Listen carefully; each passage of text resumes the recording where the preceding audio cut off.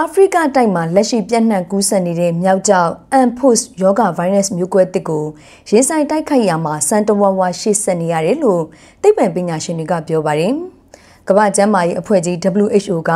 နိုင်ငံတကာကျန်းမာရေးအရေးပေါ်အခြေအနေသတ်မှတ်ကြေညာထားတဲ့မြောက်ကျောက်ကူးစက်မှုတွေဟာကွဲပြားတဲ့ဗိုင်းရပ်စ်မျိုးစိတ်တစ်တစ်ခုကြောင့်ဖြစ်ပါတယ်။တာမန်အဖြစ်မြောက်ကျောက်ဖြစ်ပေါ်စေတဲ့ပင်မဗိုင်းရပ်စ်မျိုးစိတ်နှစ်ခုရှိပြီး clade 1နဲ့ clade 2လို့ခွဲခြားထားပါတယ်။ ကွန်ဂိုကနေစတင်ပြန့်နှံ့လာတဲ့လက်ရှိမြောက်ကျောက်ယောဂတွေကတော့အဲ့ဒီနှမျိုးထဲမှာယောဂလက္ခဏာတွေပိုပြင်းထန်လေးရှိတဲ့ clade 1ကနေထက်စစ်မျိုးဗီဇပြောင်းလာတဲ့ clade 1b မျိုးကွဲတစ်ကြောက်ဖြစ်ပါတယ်။သိပ္ပံပညာရှင်တွေက clade 1b ဟာ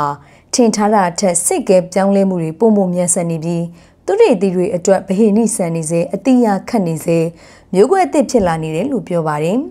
တနည်းအားဖြင့်ဗိုင်းရပ်စ်နဲ့ပတ်သက်လို့လူသားတွေမသိသေးတာတွေအများများနေပြီးစန်တိုဝါဝအခြေအနေမျိုးနဲ့ရင်ဆိုင်တုံ့ပြန်နေရတဲ့သဘောပါပဲ။ဗိုင်းရပ်စ်မျိုးကွဲသိရဲ့လူအချင်းချင်းကူးစက်မှုပုံစံတွေကရောပြောင်းလဲမှုတွေရှိလာသလားဆိုတာကိုသိပ္ပံပညာရှင်တွေကအပူတပြင်းစမ်းစစ်အဖြေရှာနေကြပါတယ်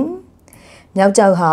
ပုံမှန်အားဖြင့်တုတ်ကွေးဆန်တဲ့ယောဂလက္ခဏာတွေပြတ်တာပြီးအကြီးကကွဲပြားမှုကခန္ဓာကိုယ်အနက်အဖို့အပိန်နဲ့အနာတွေပေါ်ထွက်လာတတ်ခြင်းဖြစ်ပါတယ်။ ယောဂလက္ခဏာပြင်းထန်လာရင်လူနာရဲ့အသက်အန္တရာယ်ကိုပါချိန်ချောက်နိုင်ပါတယ်။ကွန်ဂိုဟာအခုနှစ်အတွင်းခလိတ်ဝမ်းနဲ့ခလိတ်ဝမ်းပြီးရောနှောနေတဲ့စုစုပေါင်းမြောက်ကျောက်ကူးဆက်လူနာ18000ကျော်ကိုအတိပြုတွေ့ရှိထားပြီးအတိအပြောက်က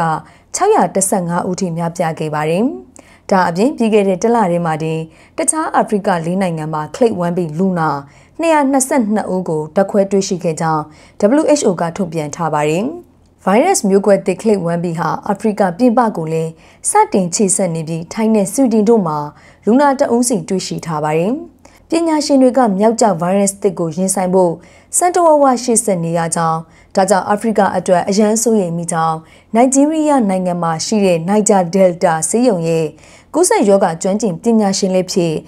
WHO ရဲ့မြောက်ကျောက်တိုက်ဖြတ်ရေးအရေးပေါ်ကော်မတီဥက္ကဋ္ဌလည်းဖြစ်တဲ့ဒေါက်တာဒီမီအိုကွိုင်နာကပြောပါတယ်။ WHO ဟာ Clade 2 virus ကူးစက်မှုတွေကြောင့်2022ခုနှစ်တုန်းကမြောက်ကျောက်ယောဂါကိုနိုင်ငံတကာကျန်းမာရေးအရေးပေါ်အခြေအနေထုတ်ပြန်ကြေညာခဲ့ပူပေမဲ့ဆယ်လအကြာမှာပြန်လည်ရုပ်သိမ်းခဲ့ပါတယ်။